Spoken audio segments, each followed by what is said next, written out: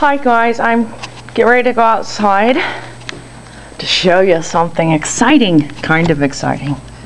It's a, a, a setback for me, but well, you know what? I can never get my stupid door open.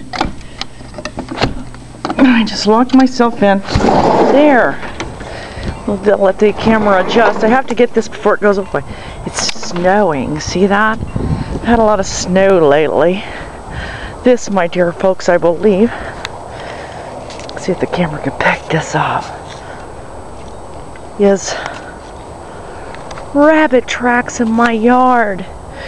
That's not good. Yeah, that's just not good. How far does he go? He goes through here. Wow, look at this. It's almost like he's going in circles. All over my yard here. Wow. Thumper. You see these tracks? And I wonder where he's gone to. There's there's two sets here, this way and this way. It's almost like there's two rabbits here actually. But I wonder, is there really? I get a track where he's coming from because I'm a gardener and gardeners Jeff that is an open gate and well you know, I get the feeling there could have been a dog in here. I don't really know.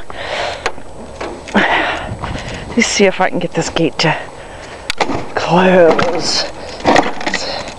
Of course, it's cold. It's below freezing out here right now. We definitely don't want dogs in the yard. Hey, I did it. Well, that solves one problem. Okay, peeps, let's go back. Just wanted to show you the bunny rabbits and let me see if I can get the snow real close, real quick.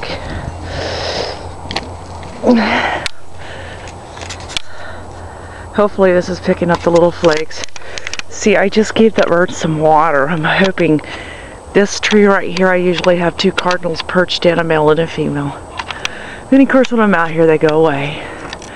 And uh, I give them food and water. Back there on the fence is a suet feeder, which suet kind of goes fast around here because we have a lot of woodpeckers. If you can see the time, it's windy today. It is cold. Anyway, just wanted to show you the rabbit tracks, so hubby and I'll have to adjust for our spring planting. Bye.